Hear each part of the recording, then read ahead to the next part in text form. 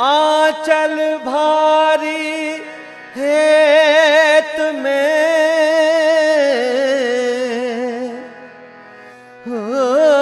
नैना भरियो नीर मायड़ बिलखे पूत बिन